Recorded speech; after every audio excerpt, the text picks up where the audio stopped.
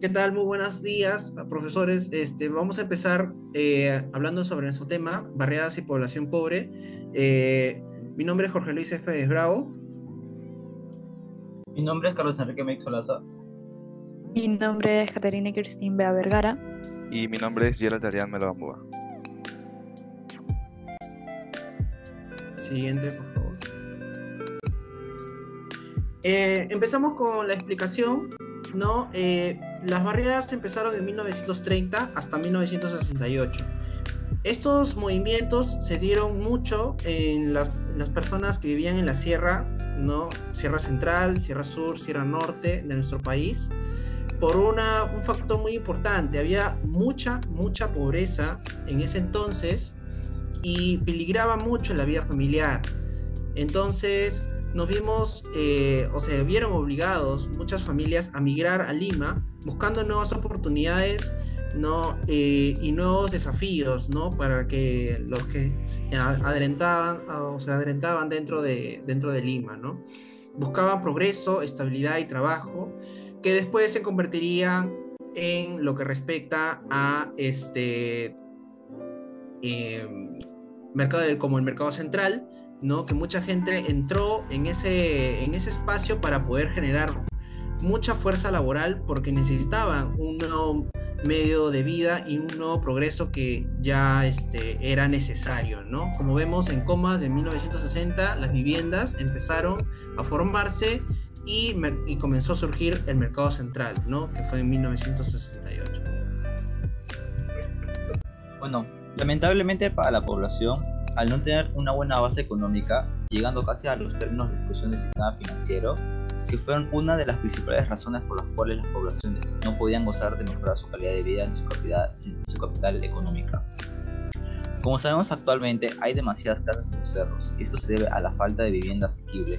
Al sufrir la invasión, las personas que emigraron al no tener un lugar al cual ir, entonces deciden ir a lugares conocidos como tierra de nadie, o mejor, áreas marginadas, que no contaban con ningún tipo de infraestructura, creando distritos y que ahora conocemos como comas o mercado central o Villa Salvador.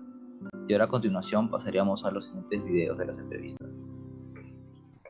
¿Qué tal, señora Lucía? Buenas tardes. Buenas. ¿Qué tal? Le voy a hacer unas preguntas. Eh, ¿Alguna vez presenciaste o te comentaron que era una invasión?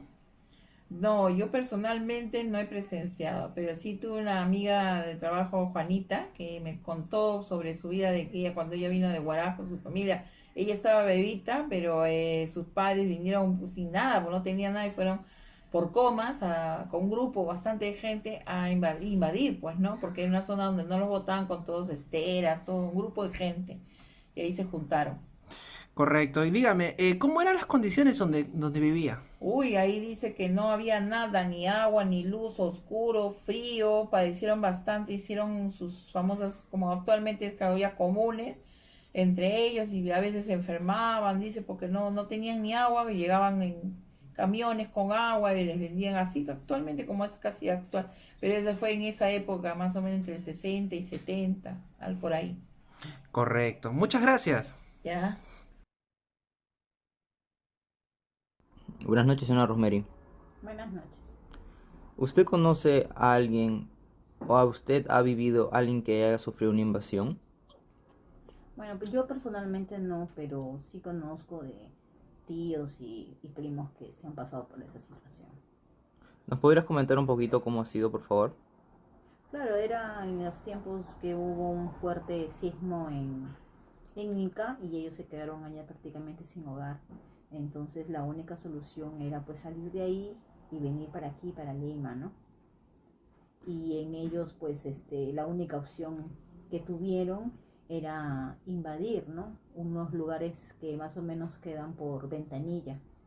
Y ahí pues ellos hicieron lo que era todo un dilema en buscar cómo instalarse, porque no solamente eran ellos, eran un montón de familias si eran perseguidos o también un poquito abrumados por la policía.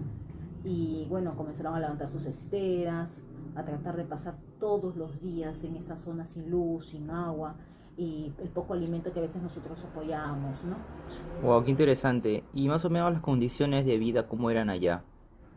Prácticamente no tenían nada.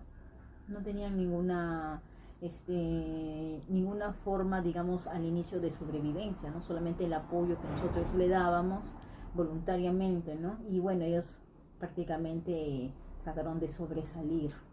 Señora Rosemary, una última pregunta. Usted mencionó acerca que el apoyo que nosotros le dábamos. ¿Nos puede aclarar un poquito más a qué se refería con eso?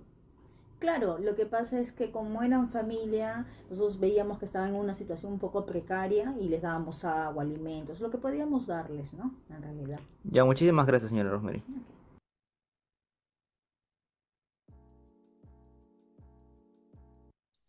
Bueno, podemos concluir que las barriadas se dieron por el rápido crecimiento urbano y la migración del campo a la ciudad en busca de mejor esperanza de vida, ya sea en la salud, en la educación y en la economía.